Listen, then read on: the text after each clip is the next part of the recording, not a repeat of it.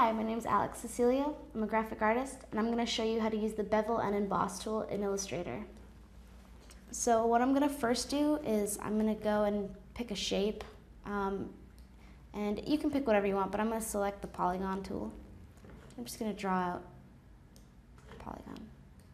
All right, now what you do is you go to Effect, and you go to 3D, and extrude and bevel, which is essentially the same thing.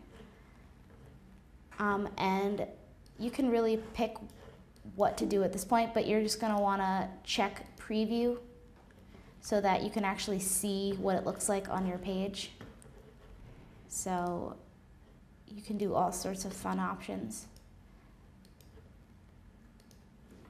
I'll show you a couple. Oops, and yeah, I can take a second depending on how big your document is.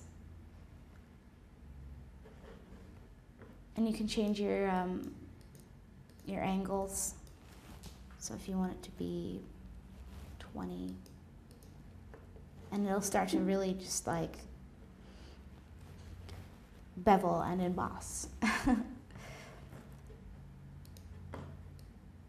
and that is how you use bevel and emboss tool or extrude and emboss tool in Illustrator's title. Um, my name is Alex Cecilio. Thank you very much.